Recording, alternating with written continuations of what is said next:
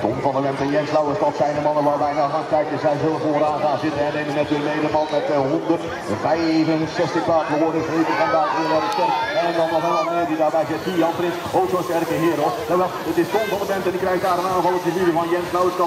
door te drukken is van de Bent dan te sterk. En gaat hij toch het afstand nemen, zodat in die tweede, die laatste bocht ook geen aanval gedoet kan worden. Het lijkt er niet zo te zijn. Is dat Jan Prins die daar mee kan kunnen gaan? Of is het uh, niet zo? Nee, het lijkt zo gestreden. De winst in deze halve finale is voor Tom van de Bent.